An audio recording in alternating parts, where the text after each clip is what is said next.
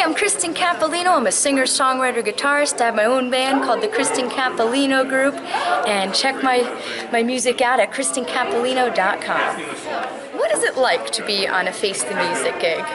It is so much fun. It is it's a wild ride. I love it. It keeps me on my toes.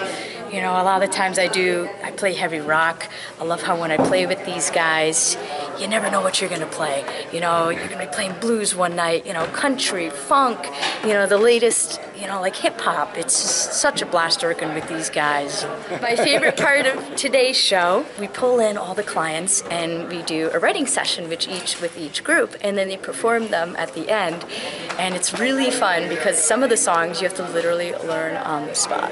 And I love that, doing that. You know, just like I said, it really keeps you on your toes, keeps your ear fresh, you know, it's just really fun. I love the challenge, I love the rush. So can't wait to do it again. So please come on out and check out Face the Music. These guys are awesome. Every show is different. You're gonna love it. This is true love of music right here and great talent. Definitely come be a part of it.